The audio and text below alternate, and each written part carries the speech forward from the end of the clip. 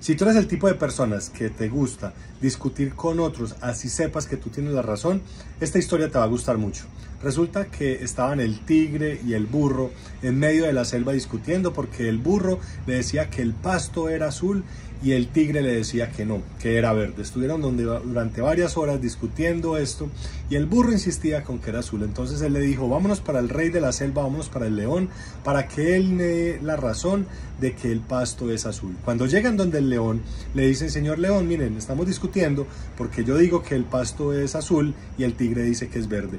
Y en ese momento el león le dice, tienes toda la razón, el pasto es azul.